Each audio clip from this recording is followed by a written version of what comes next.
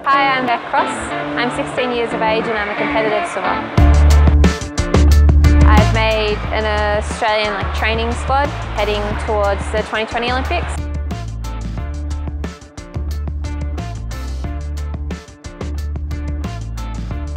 The ultimate goal is to get to the Olympics, but I'd like to see how far I can go and I train eight times a week.